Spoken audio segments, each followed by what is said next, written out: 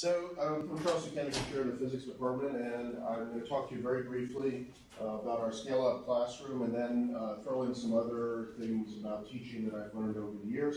Here's a photo of the scale-up classroom. It's in room 142 and 144 of the Oceanography and Physics building. We built it in 2009. We've gotten a lot of support, help um, from Rusty and from Dwayne and from their crew uh, both in terms of resources, equipment, and also just the time that it takes to outfit and, and maintain uh, a room like this. The main uh, objective of having a room like this is interaction. So it's, a, it's what's called a studio format classroom. Uh, you can do flipped classroom type classes in there. You can do a lot of things in there. But the, the key is uh, to have interaction. And, and Scale Up itself is student-centered active learning environment for, it was undergraduate physics, then undergraduate programs, I think it's something else now. Keeps evolving. It came out of Bob Beichner's group at uh, NC State, and there is what I call Orthodox Scale Up. It's from the Physics Education Research Group, where they have done a lot of studies uh, about what works, what doesn't work from a research standpoint, and they say, do this, don't do this, do this, don't do that we started out very orthodox, and then we tended to, with, especially with different faculty teaching it, uh, some people wanted to try some things, other people wanted to try other things. So we're not rigid, and we do like to try things. And that's one thing that I want to stress. I think it's really important when you're teaching not to be rigid. You're going to find some things work and some things don't work, and you should try new things. And, and don't be afraid to try new things. And if they don't work, then you know not to do it, and you know to tell people next time that didn't work. Uh, don't do it. The format of this class, you can see there are um, two screens. On, on one side, there are another two screens on the other side. There are 10 tables in there that can accommodate up to nine students, so we can have 90 students total. They work in groups. Um, we try to limit the class actually to a little bit closer to 70. We find that works better than, than the 90. But depending on what the enrollment demand is, we never want to shut people out of a class. Um, so depending on the enrollment demand and, and available teachers and so forth, the uh, enrollment fluctuates. We always want to make sure that the class is available for students. Unfortunately, we have a, a, you can see there's a pillar in the middle. That's not by design, it's by necessity. That room was originally two rooms. Were, they were lab rooms. We started the scale up uh, classroom, which is four tables in one room, tore down the wall uh, so that we could expand it to have what you see there. That is a, there's a load-bearing pillar in the middle, which you don't even have to know physics to know it's not a good idea to remove, so we left it there. Uh, the class itself is, is, is essentially a flipped classroom where the students are expected to do the reading beforehand, which they generally don't. Um, no, it's true, and it's been very difficult to get them to do it. And we've tried various things like reading quizzes, and they will go into the one place in the book where the they have to, they have to go to get the question, the answer to the reading quiz question. Um, and they're not really putting, in general, the effort that they need to, to, to prepare themselves for the class. They just do the minimum they need to do for the reading quiz. So sometimes we do that, sometimes we don't. When I did it, I didn't think it was particularly effective. I felt it's a lot of time to grade the reading quizzes compared to what we're getting, the students were getting out of it. It probably wasn't worth it. I encourage them to do that, just like I encourage the students to do a lot of things, and sometimes they do and, and sometimes they don't. The students have to take charge of their own learning, and getting them to understand that is, is probably the most difficult thing as a teacher. That, that getting them to really appreciate that, you know, there's a difference what they learn and what you teach is, is something that, that's different. Uh, let me just talk very briefly about the dynamics. So the instructor might give what we call a mini lecture. So instead of having a 50 minute lecture or an hour and a half, whatever, where people will tune out after five minutes and they're gone. Um, we give a small lecture on the topic. They should have read the material ahead of time, may or may not have had a reading quiz. And then um, we will maybe give a clicker question to see if they understand it. You could have a quantitative answer or a qualitative answer. Clicker questions are actually very effective, we found. They're good because you get the it keeps the students engaged, but also you get instantaneous feedback. So if you ask a question and the whole class gets it, then good, move on. Don't spend more time on it. They got it. If you get some, you know, everybody gets the wrong answer or it's random, then you know there's a problem and you need to spend more time on that. I find that very valuable. That, that instant feedback to the, to the faculty member, what do they know and what do they don't know? And then of course when they, when they don't know stuff, sometimes they learn the most from that because you initiate a discussion, and that's where they really learn. Um, oh, I got it wrong now, I see why I got it right. So we do that. The students then work in, in uh, groups on, on problems. And when we first started doing this, everybody was going to read ahead of time, and then we're just going to have this mini lecture and go at it, do the problem. Well, that didn't work so well. So we started saying, okay, we'll do some examples, as we would traditionally do in a lecture. Let's do an example, and then you guys do a problem, and that works a lot better. And then um, I made a switch up the last time I taught this class, a couple years ago. I used to do a kind of an easy problem, and I said, okay, guys, now you do a harder problem. Well, they struggle with that. So I switched it around to what should be probably most people think totally trivial. I'm going to do the hard problem, and then you do essentially the same problem except an easier version of the same problem. And they still struggle with that. So that was very telling when you do, you know, a, a physics problem where the charge is de- depends on the position, and then you do the same problem except the charge is uniform, it's the same everywhere. Much easier problem mathematically. They still struggle. So that's an evolution, and it, it, uh, First, they just do the, you know, they just uh, do the problems, no examples, then they do it with an easy example, then they do it with a hard example, and then they do the easier one. I don't know what the next step is going to be, but we're always trying to think what, what can we do to, to uh, improve. And, and, certainly I think doing the hard problem and having them do the easy problem as an example is something that's better than not even giving them an example. But you want the balance. Students think they learn by what? By by example, but in physics that's largely not true. They learn by doing it and struggling and not understanding and then figuring it out on their own. So they do need some guidance. Can't just throw them out without guidance, but not just doing example after example after example. And I know this because I've done te this test where I'll do an example. How many of you understand what I just did? Everyone, of course, they say, "Oh yes, I understand," and they, they are answering honestly. They're not lying. They honestly believe it. So about 30 seconds have passed, and I give them the same problem. I just did on the board, right? Okay, okay do it. So they're not, they think they're learning, but they're not learning. So by making them do the problems in class, we're able to work with them and it enhances their learning. And there is a lot of physical education research data that shows this. Uh, you can see, well, that looks like this picture is Larry Weinstein up there, but whoever's teaching it, usually there'll be the faculty member and then some TAs in there. They could be graduate TAs, or even we have some undergraduate. We have an undergraduate teaching fellow program. We hire a few of our more accomplished undergraduates, and they'll uh, some of them get assigned to the scale up classroom. They'll filter around and, and walk around and, and, and, interact with the students who has a question. So that's sort of the, the format there. Um, it is great if the students were to do, again, some of this preparation that you need ahead of time for a flipped classroom. But we've had trouble getting to do it, I'll be honest, and I don't know what the solution is there. And I'm going to present a few things where I really don't know what the solution is. Um, and that's something else that you're going to be confronted with. You're going to try things that are not going to work. You can try best practices, they're not going to work very well. Um, and you just got to say, this isn't working, I need to do something else. Um, if it's working, great, and if it's not, you need to sort of try to think outside the box. Um, we do have labs associated with this class, and that's something that's evolved also. In the original format, the labs were just intermixed, these short labs within the classroom. It's taking up too much time getting the lab stuff up and down, and there were some other problems too, because they were very different from our other types of labs. Then we just did labs on Friday, but because all the faculty always felt they didn't cover enough material, the labs were kind of getting pushed away so that you could finish up the stuff you weren't able to finish at the beginning of the week. And then we separate out the labs. Now we have a separate one-hour lab. But now we think that's too short. So probably the next evolution is going to be just combine all our semester one labs and semester two labs into two-hour labs. And we'll see how that works. It'll probably work better. It's almost full circle. But again, we're trying things, and some things work and some things don't. And we're not afraid to try things. And if they don't work, we're not afraid to say that didn't work. And I think that's very important. You should not, not be afraid to say we tried it, it didn't work, we're not going to do it. We're going to go on to the next step. um, we, they certainly learn a lot more in this format than they do in lecture format. And you can show numerically, we do give some assessment, numerical assessment, pre and post test for the class. And they look really good when you graph them and, you know, lecture and, and scale up and all that. But here's the sad thing. The reason it looks so good is because they're not learning anything in lecture.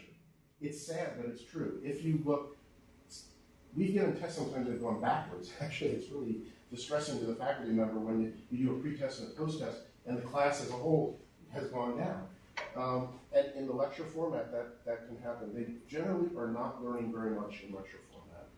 We think they're learning, but what assessment we're able to do shows they're just not learning that much. So you can get big improvements. Now, you could say, well, it's a threefold or fourfold improvement, sounds very impressive. It's impressive because they're not learning that much in class, in the lecture class, but at least they're learning more in this type of interactive studio. And as it evolves, hopefully we'll be able to get those numbers up more and more and more, and they'll continue to learn. I know I want to keep us on track, so just mention a few other things. We have what's called a Physics Learning Center. That's our help center, and it's staffed by volunteer faculty and um, graduate students who, as part of their stipend, might get assigned a couple hours in the, in the Learning Center. And again, some of our undergraduate teaching fellows that I pay will also staff the Learning Center. It's staffed maybe about 30, 33 hours a week. Uh, it's on the second floor of OCNPS, so people can just drop in and uh, get help whenever they want. It works very well. Uh, it's a real time saver for faculty because, uh, you know, if you'll find as a faculty member that students can, especially for a large class, there's going to be a large fraction that can't come to your office hours. They just have other things going on during their office hours. So they'll come at all times. And then you're put in a position where you either have to say, I can't help you, or, okay, I'll help you, but if you do that one on one on one on one, that can be many, many hours during the week. And that's not, you know, you've got other things that you need to be doing. Uh, you, have other, you have other responsibilities. So by having a centralized help center, it, it really helps. You know, if you put one hour in as a faculty member in the learning center, you will get a good return on that investment because that'll save you many hours every week of students not coming one by one um, to your office. So that's what we do. We've done that for almost 20 years now, and um, that's been a big success. So for teaching a class like this, time management is critical because when you're doing problems and you have the students doing problems like this, it's easy to say, I'm going to spend 10 minutes, but they're not done, so you spend 20 minutes, and then before you know it, the class is over. And so you're always facing the challenge of how much material, and, you know, how do I get through the material? Because you, have got a certain amount of material that you need to cover, especially if it's a service class for another department. On the other hand, you want them to learn. And that's always a, an optimization, what you teach versus what they learn. We can all take a, a, a two semester class and te teach it in one semester. You can go through the whole, the book that's meant for three semesters if you wanted to. You could probably teach it in one semester if you want to go that fast. And you know exactly what you're doing, but the students wouldn't know what you're doing. And so you would have taught a lot and they would have learned nothing. So then you get to one semester class where, you, where you're trying to get in the amount of material, but sometimes you're pushing it a little bit.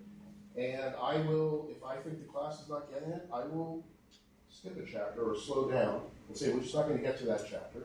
Because I'd rather that you learn 12 chapters and know it well than we cover 14 chapters and you really don't know it very well.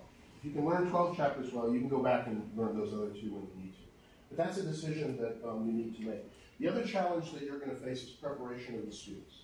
In physics, the biggest problem we have is math preparation. I know that the test scores, uh, SATs and GPAs, and whatever the metrics are for high school, they look good. I, we hear that the numbers are rising at ODU. It's probably true. But the students that are coming in are not as well prepared to do the math as they once were. It's just true. I, I've seen this. I saw this when I was advisor. I see it when I'm teaching. And so now you you're faced with a situation where the students are coming to class. They technically met the prerequisites, but they're not ready for the class. So what do you do? Do you do some remedial work, and you don't really want to use that term?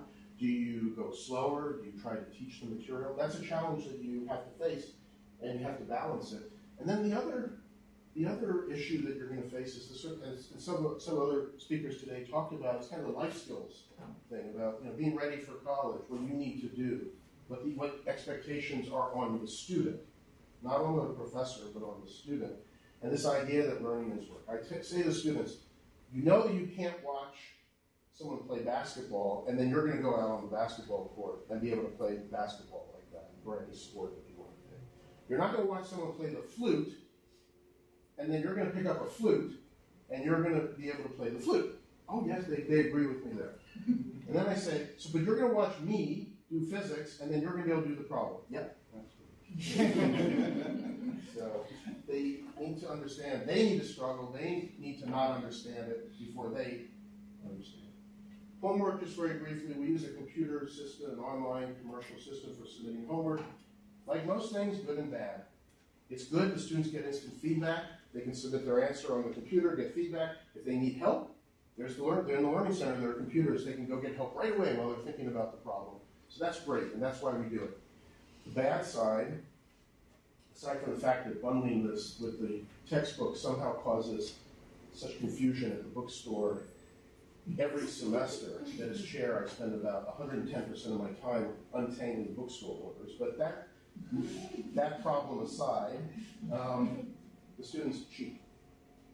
And they're, they actually will pay to cheat. So there's something called Chegg. And they can go online and they can pay, and almost every textbook problem that's ever been written, they can immediately get the answers and the solutions.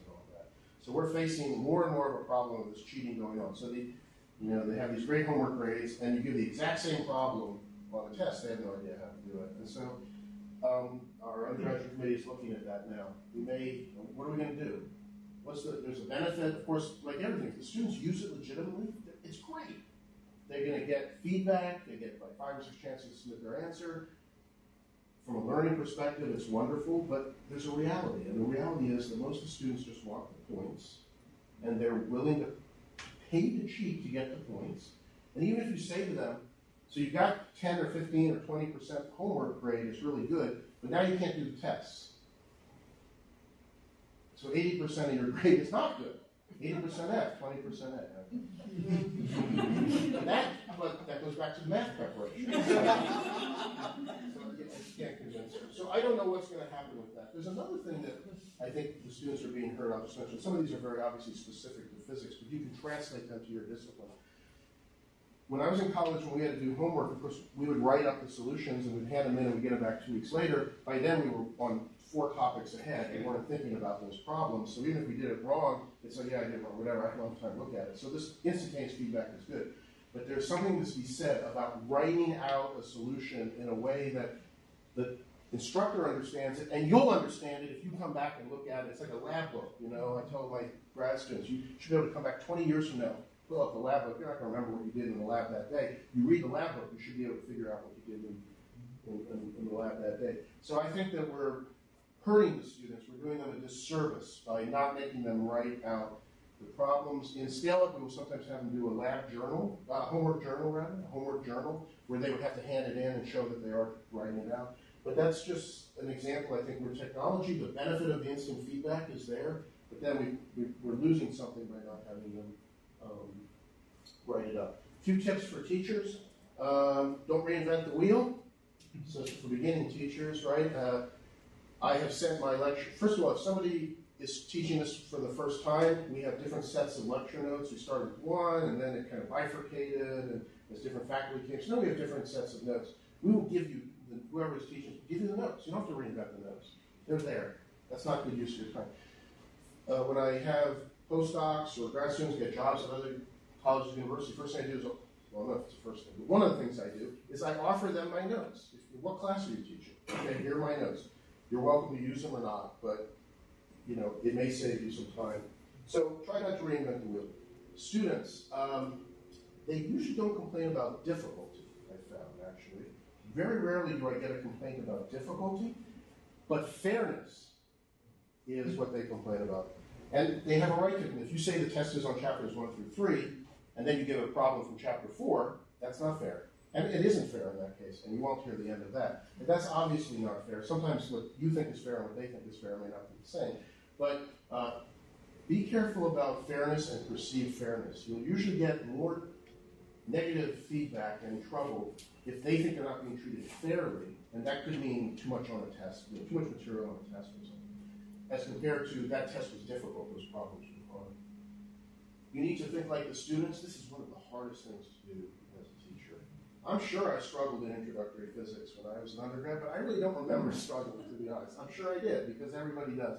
But I just don't remember sitting there thinking, I really have no idea how to solve this problem. I go up to the board and solve it right now, and it's totally trivial. I open up the book, and yeah, that's easy. I certainly didn't say that when I was a freshman in college, but I don't really remember that. So it's very easy for me to look at this, well, that's an easy problem. You know, someone asks me a problem, and my response is, well, that's easy. Well, It's easy to me because I've been doing it for a while. It's not easy to the students. You need to think like the students. You need to have that mindset of the experience that they have, what they, where they are in their career, and what they know, and think like that. When you think like that, if you're able to do it, then you go, oh yeah, I know why you're being confused because this, this, this. You've already figured it, that this, this, this out, and you're able to move past it. But the students haven't. Never assume they know something they should know. Never. I mean, it's it's usually a bad assumption. Like, well, you know this, you know this, you know this. No, and it may be because they just haven't taken it in a class or because they didn't learn it. But never say stuff like "you should know this." Don't put the students down. That is, they will react very badly. Even sometimes joking, like, "Well, I, you know, I learned it in junior high school, so you know, we do this in junior high. Why don't you should know?" That can that can be perceived as a put down, and it's not any sort of put down, even if it's done as jest. Um, because I, because I read evaluation, you know, as chair, I have to read the, do, I read the evaluations, the student opinion surveys, and then I go talk to the faculty, and, and I, for several faculty, students will, they really, they think they're being put down by the professor, who I think is mainly being sarcastic, but, and when I talk to the professor, the professor just doesn't understand, because from his standpoint, he's not putting them down at all. Um, but that's how the students perceive it, so be careful about that. Um, and then just one other thing, it's not really even so much about teaching, but just being a faculty member. You have a CV. Update it every time you do anything. Okay, it's important that your CV is up to date. So, but you oftentimes don't update it until like once a year when you're asked for evaluations, and you will forget a lot of the things that you do. So if you're speaking at a workshop, or attending a workshop, or um, reviewing a paper or a proposal, it doesn't matter what it is.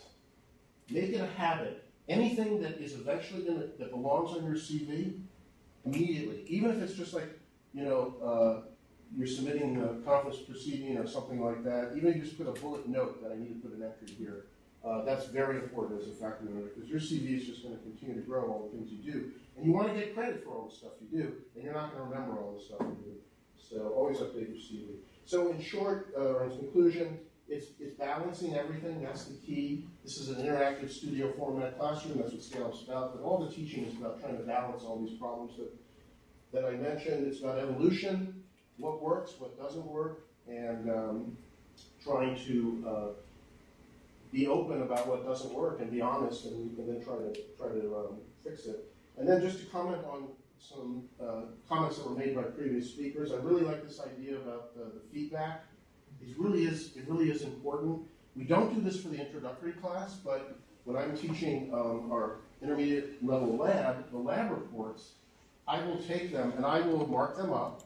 I won't put a grade on them, but I'll mark them up as though I'm grading it. I don't put a grade, I don't record what I've done, I just hand it back to the students, and then I say, now hand it in for a grade.